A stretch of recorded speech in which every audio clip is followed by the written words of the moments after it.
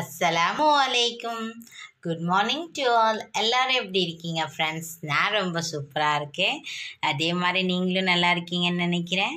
Friends today actually பட்லி delicious கிச்சனின் ஷியாமத்பா சேனலில் நம்ம பார்க்க போகிறது இது சம்மருக்கு ஏற்ற மாதிரி ஒரு ஃபுட் தான் ஃப்ரெண்ட்ஸ் ரொம்ப எம்மையான ஹெல்த்தியான கூலிங்கான டேஸ்டியான கர்ட் ரைஸ் தான் ஃப்ரெண்ட்ஸ் பார்க்க போகிறோம் என்னுடைய ஸ்டைலில் ஸோ நான் வந்து இது ஒரு பெரிய ஹோட்டலில் சாப்பிட்டேன் ஸோ அதை மாதிரியே வீட்டில் செஞ்சு பார்க்கணுன்றதுக்காக நான் ட்ரை பண்ணேன். எனக்கு சக்ஸஸ்ஃபுல்லாக வந்துச்சு.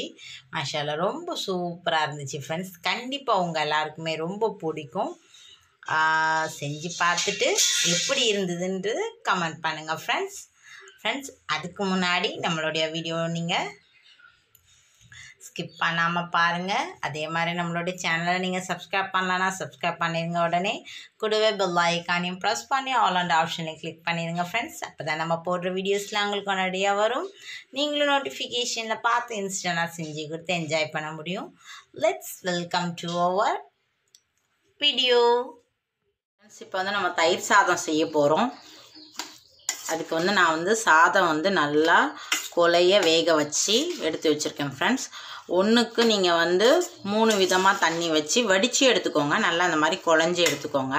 குழைய வச்சு சாப்பாடு. ஸோ இதில் வந்து நான் ஒரு பத்து இருபது கிராம் வந்து பட்டர் வந்து போடுறேன். ஸோ இதை வந்து நல்லா மிக்ஸ் பண்ணி விட்டுருவோம்.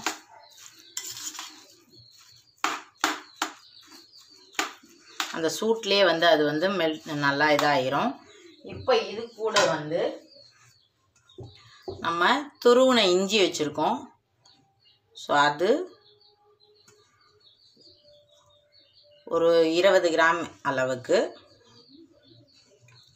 அப்புறம் பச்சை மிளகா வந்து பொடிசாக கட் பண்ணி வச்சுருக்கோம். அதுவும் ஒரு இருபது கிராம் அளவுக்கு. ஒரு ரெண்டு பச்சை மிளகா எடுத்துக்கோங்களேன். நல்லா ஃபைனாக சாப் பண்ணி வச்சுருக்கோங்க. அப்புறம் கொத்தமல்லி. நல்லா நிறைய ஒரு கை நிறைய கொத்தமல்லி எடுத்து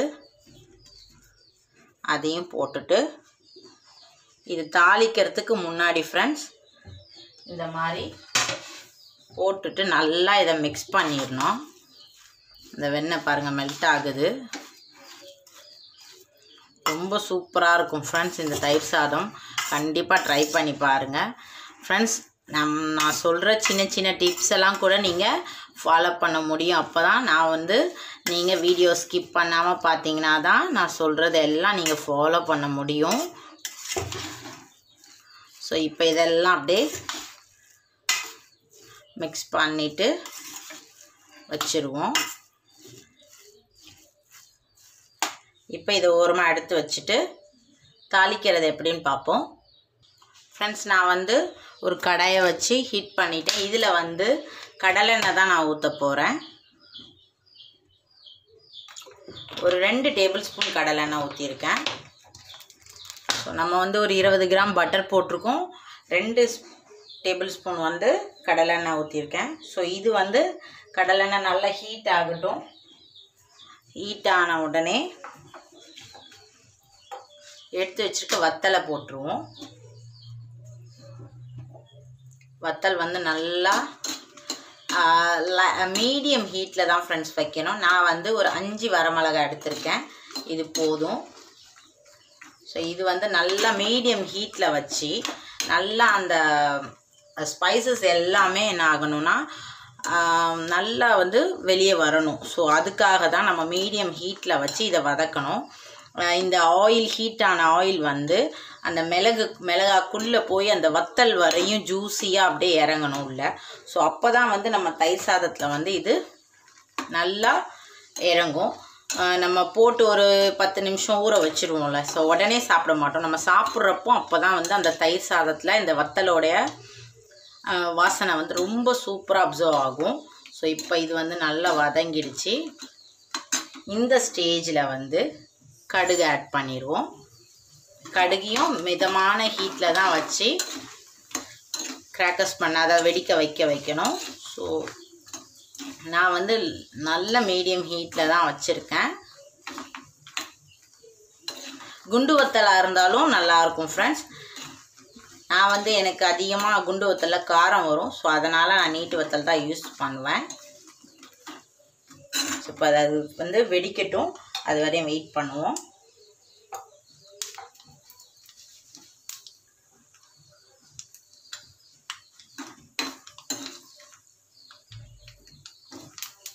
ஃப்ரெண்ட்ஸ் கடுகு வெடிக்க ஆரம்பிச்சிருச்சு.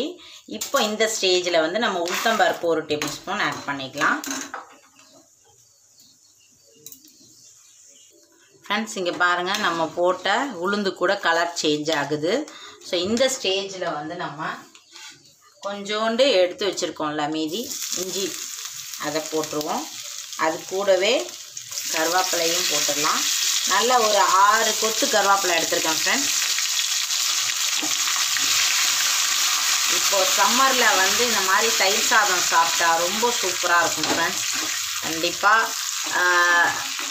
மினிமம் வந்து பசியே எடுக்காது இந்த சம்மருக்கு ஸோ அப்படி இருக்கிறப்போ லைட்டாக ஃபுட் எடுத்துக்கணும் அப்படிங்கிறப்போ நம்ம வந்து இந்த தயிர் சாதம் ட்ரை பண்ணலாம்.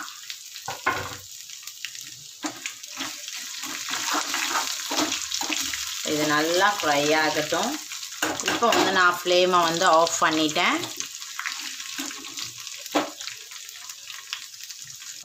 ஃப்ரெண்ட்ஸ் நான் வந்து ஆஃப் பண்ணி எடுத்துட்டேன். இப்போ வந்து இது மேலே அந்த சாதத்தை சாதத்துக்கு மேலே அந்த நம்ம தாளித்த தாளிப்பெல்லாம் கொட்டலாம். ஃப்ரெண்ட்ஸ் இப்போ இது மேலே அப்படியே இது எல்லாத்தையும் கொட்டிட்டு நல்லா கிளறிக்கலாம். நான் வந்து சாதத்தில் வந்து உப்பு போட்டு தான் ஃப்ரெண்ட்ஸ் வடிச்சிருக்கேன். ஸோ அதனால் உங்களுக்கு உப்பு நிறைய தேவைப்படாது.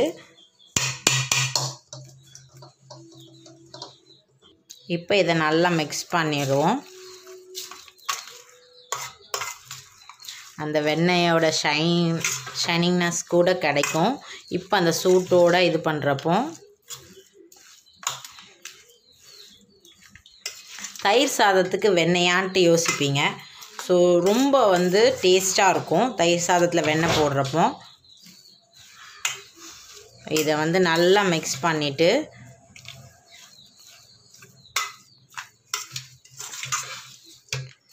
நல்லா பிரட்டி விட்டுருங்க.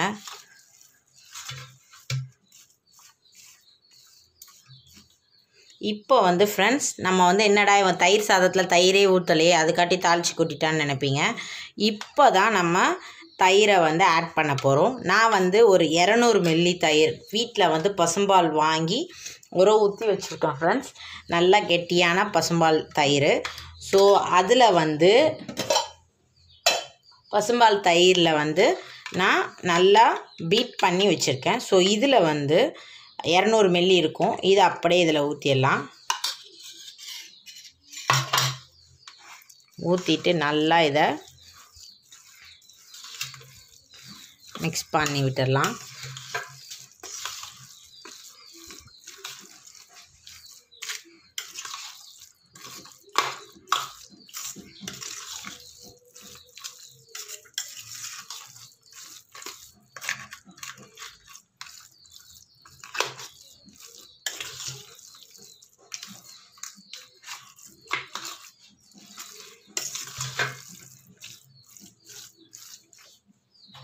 ஃப்ரெண்ட்ஸ் மீதி இருக்க தயிர் எல்லாத்தையுமே இதில் ஊற்றிடலாம்